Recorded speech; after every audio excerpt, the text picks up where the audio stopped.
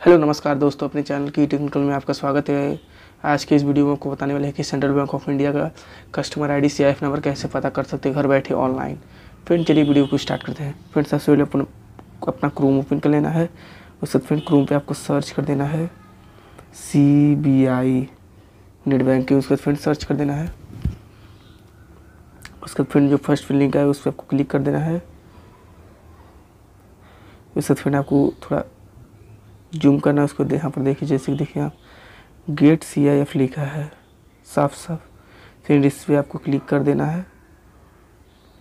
उससे फिर अपना जो सेंट्रल बैंक ऑफ़ इंडिया का अकाउंट नंबर है, जिसका सी एफ़ नंबर आप पता करना चाहते हो, उसका अकाउंट नंबर फिलअप कर देना है। चलिए, मैं फिलअप कर लेता हूँ।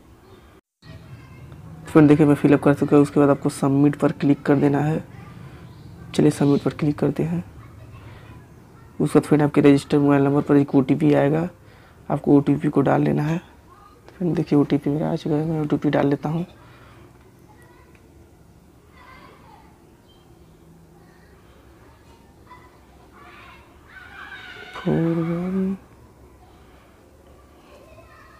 फिर मैं ओ टी पी फिलअप कर चुका हूँ। उसके बाद फिर आपको सबमिट पर क्लिक कर देना है।